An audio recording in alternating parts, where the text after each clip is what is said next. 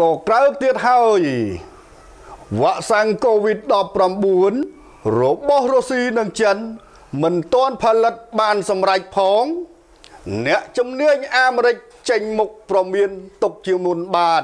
តារីគួគឺជាម្សៅលាបខ្លួនទីរក់និងកូម៉ាអ្នកជំនាញកំពូលផ្នែកជំងឺឆ្លងរបស់សហរដ្ឋអាមេរិកលោក Anthony Fauci បានបង្ហាញពីក្តីកង្វល់ជុំវិញសុវត្ថិភាពនៃវ៉ាក់សាំង COVID-19 កំពុងស្ថិតនៅក្រោមការអភិវឌ្ឍដោយប្រទេសចិននិងរុស្ស៊ីដែលសុទ្ធសឹងតែធ្លាប់អះអាងថាវ៉ាក់សាំងរបស់ពួកគេនឹងរួចរាល់ក្នុងពេលឆាប់ឆាប់ខាងមុខនេះនេះបើតាមការចេញផ្សាយដោយសារព័ត៌មាន CNA នៅព្រឹកថ្ងៃសៅរ៍ទី1ខែសីហាឆ្នាំ2020 2020មកទល់នឹងពេលនេះក្រុមហ៊ុនចិនមួយចំនួនត្រូវបានគេមើលឃើញថាកំពុងនាំមុខគេក្នុងការស្រាវជ្រាវនិងប្រកួតប្រជែងអភិវឌ្ឍវ៉ាក់សាំង COVID-19 កណៈរុស្ស៊ីបង្ហើបថាខ្លួនរំពឹងផលិតបានវ៉ាក់សាំងដំបូងគេនៅលើពិភពលោកនៅខែកញ្ញាខាងមុខនេះក៏ប៉ុន្តែទោះជាផលិតបានជោគជ័យក៏ដោយក៏វ៉ាក់សាំងរបស់ប្រទេសទាំងពីរនេះនឹងត្រូវប្រឈមមុខការប្រកួតប្រជែងពិនិត្យអំពីសវត្ថភាពពីក្រមជំនាញអន្តរជាតិ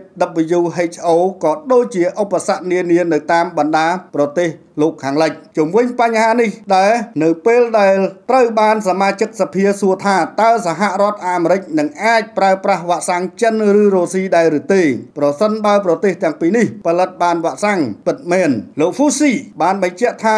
រឿងបែបនេះនឹងមានអាចកើតឡើងឡើយ លោកហ្វូស៊ីបានលើកឡើងដូចនេះថាខ្ញុំសង្ឃឹមថាប្រទេសរុស្ស៊ីនិងចិនពិតជាកំពុងធ្វើតេស្តវ៉ាក់សាំងមុននឹងពួកគេផ្ដល់វ៉ាក់សាំងឲ្យអ្នកគ្រប់គ្នាត្បិតវ៉ាក់សាំងដែលមិនបានធ្វើតេស្តមុននឹងដាក់ឲ្យប្រើគឺជាបញ្ហាមួយដ៏ធំគួរបញ្ជាក់ថាបើតាមលោក Anthony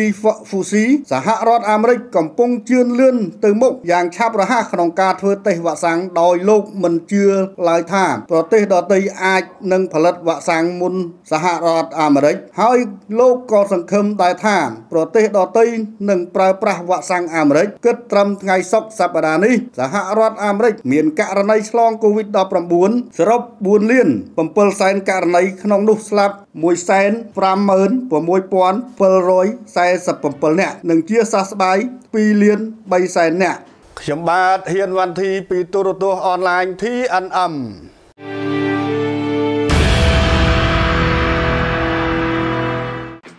TKM គ្រឿងសម្អាងពីប្រទេសកូរ៉េ